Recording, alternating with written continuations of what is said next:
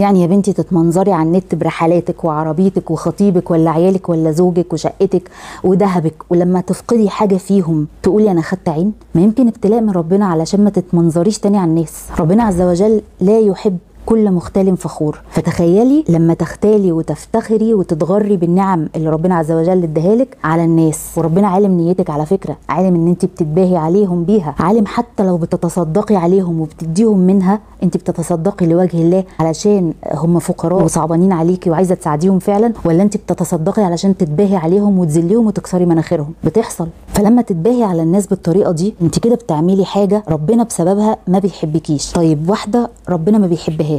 يا ترى هتشوفي ابتلاءات قد إيه؟ فنركن العين كده على جنب مع إنها طبعا العين حق لكن نظبط أخلاقنا. وما نتباهاش على حد بنعمة ربنا عز وجل أعطاها لنا. مش هقول لك استخبي بقى وعيشي في أم أم وخبي عيالك وزوجك وعربيتك وأكلك وشرب. لا عيشي عادي وتبسطي وتفسحي وسوقي عربيتك وسافري في كل مكان واعملي كل اللي انت عايزاه في الحلال.